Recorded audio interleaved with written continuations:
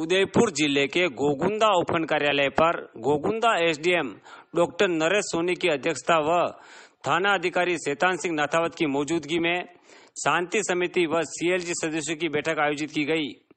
बैठक के दौरान सीएलजी व शांति समिति की सदस्यों से होली, धुलेंडी, रमज़ान नव वर्ष गणगौर मेले व लोकसभा चुनाव के पर्व को शांति, सद्भाव व भाईचारे के साथ मनाने को लेकर चर्चा कर आवश्यक दिशा निर्देश दिए गए। वहीं बैठक में उपस्थित सदस्यों ने गोगुंदा बस स्टैंड से लेकर बाज़ार तक हो रहे अवैध अतिक्रमण को हटाने, रोडवेज़ बसों को गोगुंदा बस स्टैंड पर लाने निजी बसों को समय अनुसार बस स्टैंड पर पहुँचने, सूरजगढ़ में चौकी स्थापित करने व रात्रि गश्त बढ़ाने की बात पर चर्चा की। इस पर गोगुंदा एसडीएम डॉक्टर नरेश सोनी ने थाना अधिकारी को सूरजगढ़ क्षेत्र में स्टाफ की ड्यूटी लगाने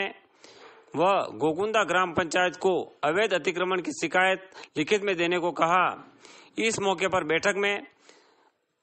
दयालाल चौधरी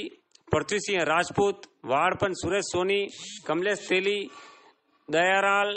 प्रजापत, छोटूलाल सेठ, सब्बीर सिंधी, लक्ष्मीलाल सुथार, अर्जुनलाल सुथार भीम सिंह राजपूत, तुलसीराम बोई व लाल सिंह देवड़ा सहित सदस्य मौजूद रहे। अपने जो है ये बाकी त्योहार है, अपने होली का लक्ष्मी का सब चीज़ें। आने वाले त्योहारों को लेकर जो सीएलजी मेंबर हैं और गण्य- गणमान्य व्यक्ति हैं, उनकी उपस्थिति में मीटिंग दी गई है यहाँ पे, ताकि दोगुंदा क्षेत्र के अंदर चुनाव की स्थिति और भविष्य में आने वाले सभी समाजों के जो पर्व हैं, उसके अंदर किस तरीके से व्यवस्था हो, किस तरीके से आपसी समन्वय बने रहे, धार्मिक समन- समन्वय बने रहे, उसके बारे में चर्चा की गई है।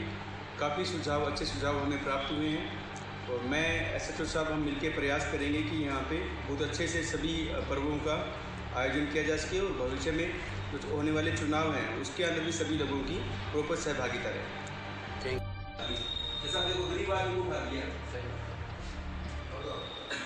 ठीक है तो मीडिया का अहम रोल है उस चीज़ के अंदर कि वो उसको किस तरीके से कवर करते हैं। एक तो न्यूज़ को इस तरीके से कवर करना लोकल न्यूज़ वीडियो के लिए डाउनलोड करें पब्लिक वाइब ऐप